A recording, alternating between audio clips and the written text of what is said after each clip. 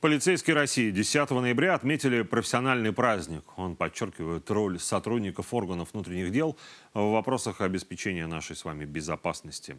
Этот день впервые силовики праздновали в 1962 Тогда, правда, чествовали милиционеров, а после реформы 2011 дата приобрела нынешнее название.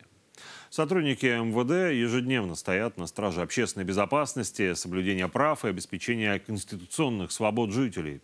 Многие из виновников торжества 10 ноября провели на боевом посту. Также на уходящей неделе вспоминали и тех, чьи имена высечены на мемориальных досках. Тех полицейских и милиционеров, которые за выполнение уставных задач во имя спасения других отдали свои жизни – День памяти погибших при исполнении сотрудников органов внутренних дел установлен 8 ноября. В Югре навечно в списке личного состава зачислены 85 силовиков. В Сургуте таковых 15. В честь одного из них на уходящей неделе открыли мемориальную табличку у дверей участкового пункта полиции на улице Лермонтова. Здесь в 2007-м старший лейтенант Арат Фатахов получил страшное ставшие впоследствии смертельными ожоги, пытаясь спасти женщину. И он смог это сделать. А тех, кто в трудную минуту пришел на помощь, смотрите наш следующий материал.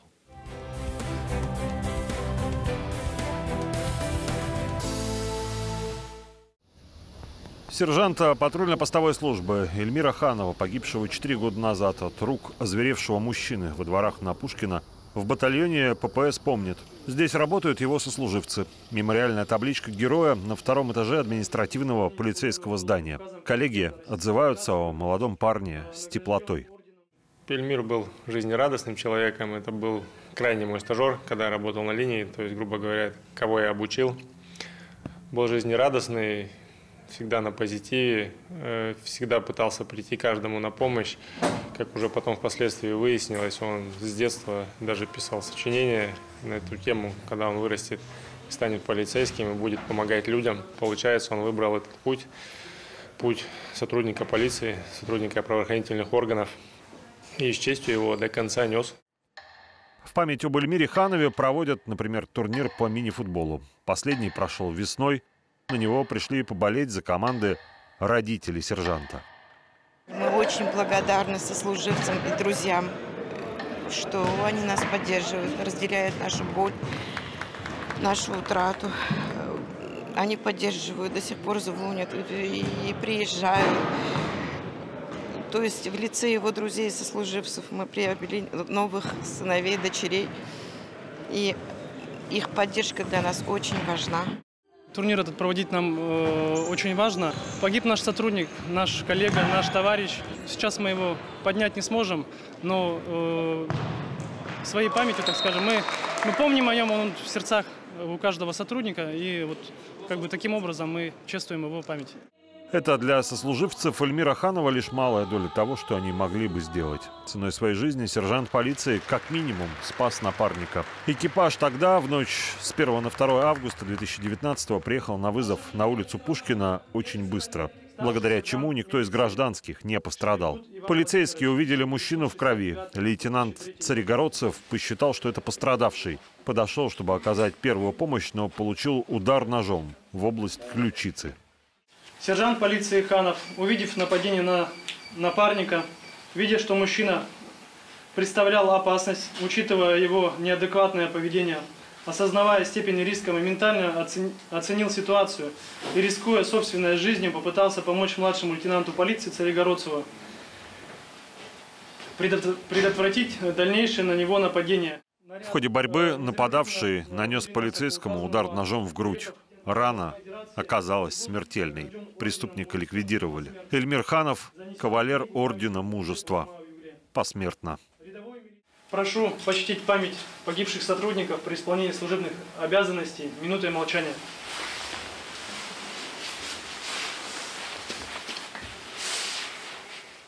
Уже находился в Башкирии у родственников, и мне позвонили коллеги и сказали, что случилась такая беда. И я как бы незамедлительно проследовал туда, где он родился, в Башкирии, присутствовал на похоронах. Да, это действительно очень тяжело, когда ты с человеком работаешь рука об руку, грубо говоря, в одной машине, ешь, пьешь, вместе, а потом просто человека в один момент не становится. В ноябре 2007-го оборвалась жизнь участкового уполномоченного Айрата Фаттахова. Он погиб в результате дебоша в самом пункте, который располагался в жилом доме на улице Лермонтова, в одном помещении с территориальным общественным советом. Здесь пришел на прием не совсем адекватный человек. Э, здесь находился, кроме участкового пункта, еще совет самоуправления района. Зашел днем значит, человек, я так понимаю, к любимой своей, наверное, сотруднице, которая не отвечала ему взаимностью. И, значит, вот облил себя бензином, ее бензином пытался облить. Соответственно, она закричала, и в это время находился здесь сотрудник Фаверат Ганаевич. Он забежал, э, обезвредил этого человека, но одновременно с этим тот успел поджечь, э, чиркнуть зажигалкой. Андрей Сабадаш 16 лет назад видел коллегу за пару часов до этих событий на крылечке отдела полиции. В результате героических действий участкового девушка, которую планировал облить бензином мужчина, осталась жива и невредима. Нападавший погиб на месте. За жизнь милиционера больше месяца боролись врачи. Он поступил в больницу в крайне тяжелом состоянии с ожогами 87% поверхности тела. 20 ноября сердце милиционера остановилось. Он стоял на страже порядка и закона. Я и близкие, конечно, мы испытываем боль, горечь утраты. Но и гордимся его мужеством, отвагой. 8 ноября на доме номер 7 на улице Лермонтова, фактически там, где и произошли 16 лет назад те страшные события, установили мемориальную табличку памяти Аэрата Фаттахова. Многие пришли на торжественную церемонию без приглашения или откликнулись на предложение по собственной инициативе. Это ученики школ, кадеты и лицеисты, ветераны МВД и действующие сотрудники, а также дочь погибшего полицейского и вдова.